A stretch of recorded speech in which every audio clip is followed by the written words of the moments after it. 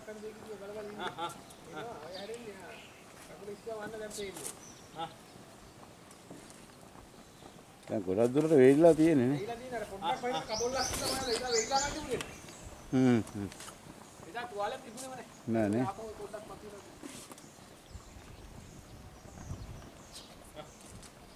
ඔබ නිකන් මියා වෙලා තිබුණේද?